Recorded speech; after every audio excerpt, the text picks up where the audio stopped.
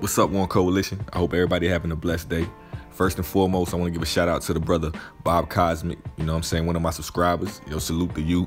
He um put some information in my ear, put a bug in my ear about this channel called the Unapologetic Negro Peen.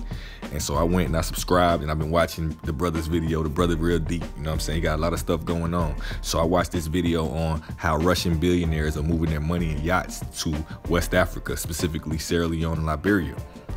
So I was sitting back and I said, you know what? It's weird because the president of Liberia just a couple, maybe a month ago, had put something out there saying that he wants to change the constitution to make it um, available, make citizenship available to the foreigners like Lebanese and Chinese and stuff like that. So now it makes sense when I seen this video right here. It like dawned a light on me.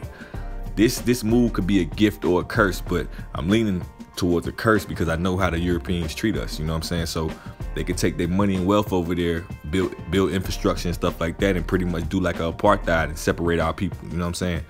But I want you, I want to see y'all input. Y'all watch this video in the entirety. You know what I'm saying? So my shit can get in the algorithm, so we can get there. Let's go. Why are Russian billionaires attracted to the West African coast?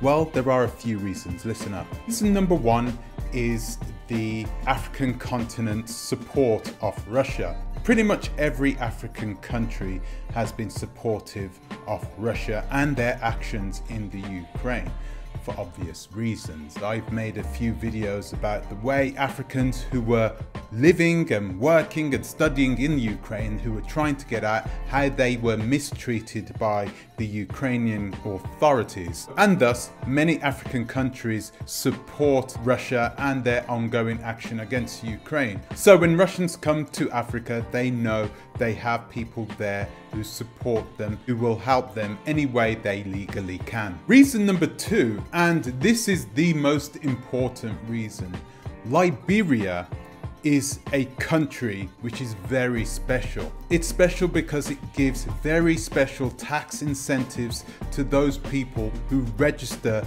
their big ocean going ships in that country. This is the reason why on many, many ships, even if they aren't owned by Liberians or by any Liberian company, those big companies from China, from South America, Panama, these places, these companies will always register their ships in Liberia. Now, of course, this is brilliant for those people who own huge yachts. So let's talk about the first person who has now bucked the trend and has moved to Liberia. His name is Andrei Melnichenko. Andrei Melnichenko is a 50 year old Russian billionaire who moved to Liberia only a few weeks ago. So he has now got Liberian citizenship. The reason why he's got Liberian citizenship, mainly it's because he wants a place, a safe haven for him to bring his yachts to, a place where he can now re-register his yachts. You see, there are a lot of Russian billionaires who are moving their yachts over to Turkey, but it's difficult for them to register their yachts as being Turkish because they're Russian billionaires. I'm gonna stop it right there. Um, so with the all of the stuff going on between Russia and Ukraine, you know what I'm saying? They know that they can't move around like that because they know the United States government is back in Ukraine. So um, they putting sanctions on Russia and all that. So they have their force to um, move their money elsewhere. And why not Africa, full of natural resources and all of that? So here's the snippet of George Weah. Like, like this is what he did. He, he freed up about to change the Constitution.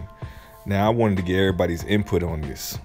I wanted to know how do y'all feel about this? Do you feel like it's colonization all over again? Or do you feel like it's something that's been going on?